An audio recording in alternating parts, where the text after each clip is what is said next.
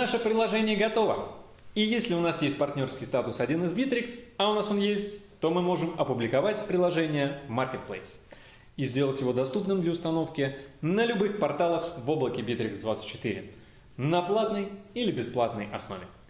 Напомним, что является важным для публикации.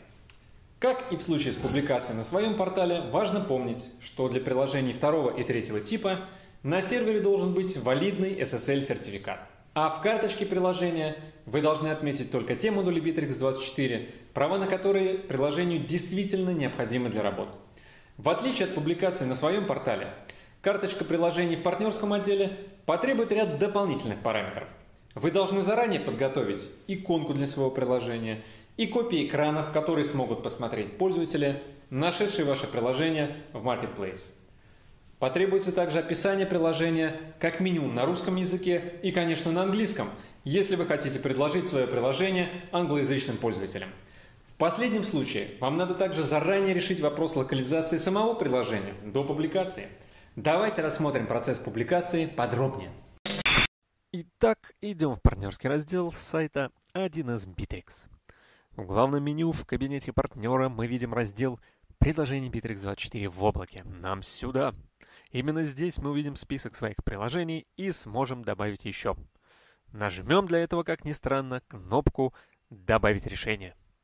Открывшаяся форма будет похожа на ту, которую мы уже заполняли в портале для локального приложения. Разница состоит в том, что необходимо указать параметры доступа к приложению. Является ли оно бесплатным или платным? Если платным, то сколько должно стоить? Есть ли у платного приложения пробная версия и в каком режиме?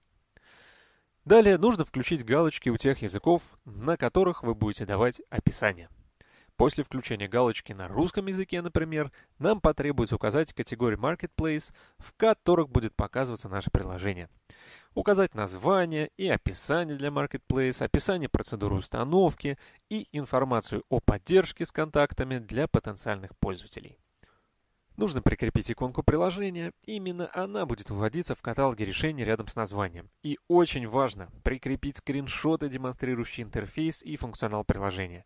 Именно глядя на них, скорее всего, пользователи будут принимать решение, пробовать ли ваше приложение или нет. После сохранения мы остаемся в той же форме редактирования приложения, но нам тут же выведут информацию о коде приложения и секретном ключе. Как вы помните, нам надо будет скопировать эти значения в файл tools.php.